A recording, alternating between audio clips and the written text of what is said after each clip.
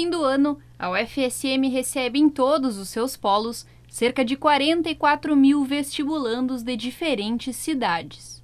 A preparação para ser aprovado no vestibular é fundamental e pode durar anos. Com a aproximação da prova, é comum que os vestibulandos aumentem o ritmo do estudo a vida dos estudantes muda, a rotina de estudos se torna intensa e a preocupação com as provas é constante. Mesmo que pareça impossível, é necessário e recomendado manter a calma nesse período. A Thaís vai prestar vestibular para medicina pela terceira vez e, mesmo com a experiência que ela já tem com a prova do vestibular da UFSM, o nervosismo parece persistir. Thaís, me diz como que tu tenta manter a calma nesse período pré-prova. Uh, eu procuro manter a minha rotina de exercícios, que paralelo ao cursinho eu faço academia, e procuro fazer coisas que eu gosto, como escutar música, olhar filmes, coisas que me relaxam, me, me desviam um pouco do foco de só estudo. Cada pessoa tem a sua maneira particular de estudar.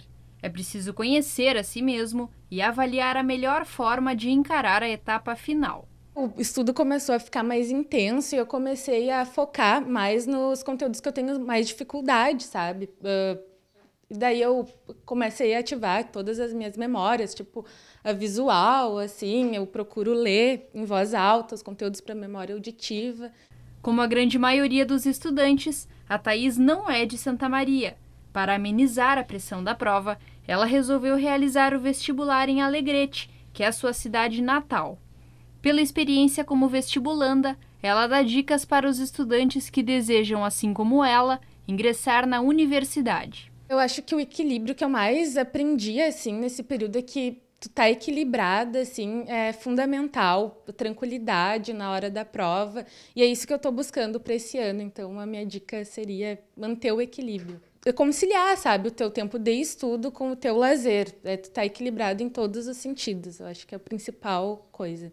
Durante a visita, a Thais destacou a importância dos professores. Eles também têm uma vasta experiência, assim, né? Todos os anos lidando com vestibular.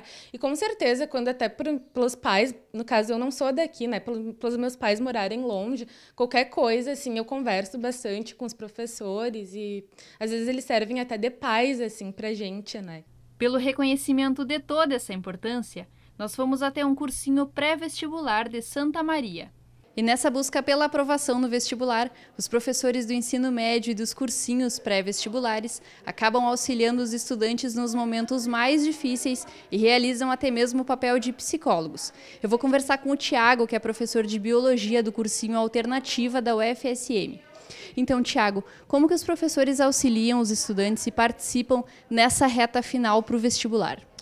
A gente procura passar bastante tranquilidade para o aluno, porque a tranquilidade uh, eu acredito que seja o principal fator da aprovação, né? Porque muitas vezes o aluno chega, está bem preparado, chega extremamente tenso durante a prova e não consegue realizar uh, o, o score que ele gostaria. Então, tranquilidade é o principal fator, com certeza. Conter a ansiedade não é uma tarefa fácil em meio à pressão, mas com calma dá para realizar as provas com sucesso. A tranquilidade vem a partir dos resultados, né? Por exemplo, a gente faz muitos simulados durante o ano, então esses simulados têm que trazer uma certa calma para o aluno, porque eles foram acompanhando uh, durante o ano todo uh, os seus resultados. Então isso tem que trazer a calma para eles. Eles têm que buscar um, um, maneira, uma maneira muito particular assim de conseguir essa calma. Então a gente procura incentivar isso nos alunos.